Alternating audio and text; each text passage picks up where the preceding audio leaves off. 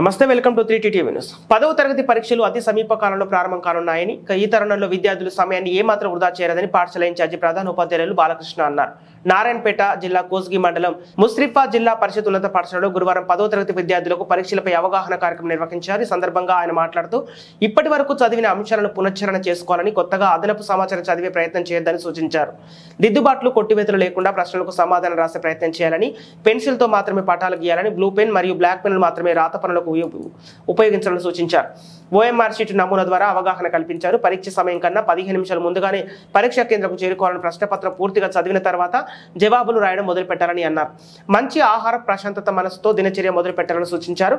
పరీక్షలు ముగిసే వరకు యజ్ఞంలా భావించాలని అన్నారు. సబ్జెక్ట్స్ వారీగా ఉపాధ్యాయులు ఆయా పరీక్షలు పాటించాల్సిన మెలకువలు సూచించారు.